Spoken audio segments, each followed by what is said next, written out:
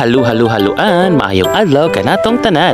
This is DJ Dan Dalandan. Lain usab nga putahe ang atong lutoon karon nga for sure lami kaayo. Magluto ta og ginataan nga munggos.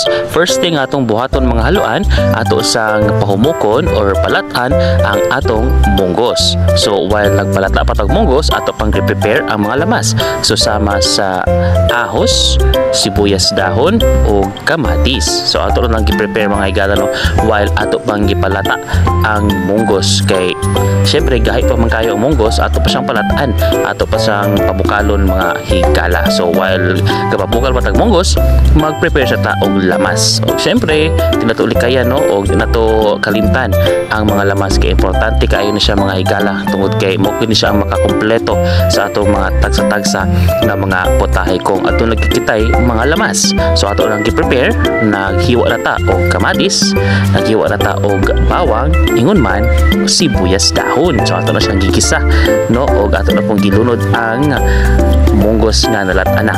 Og ato na tayong giukay-ukay, butang na to og ginataan. So moro na siya mga higala. As simple as that.